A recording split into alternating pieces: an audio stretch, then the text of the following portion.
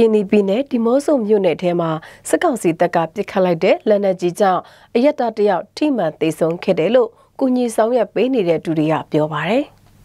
ဒီမော့ဆိုမြို့နယ်စံပြ6မိုင်ကျေးရွာအုပ်စုဒေါ်ပိုးစီကျေးရွာမှာဒီဇင်ဘာလ23ရက်နေ့က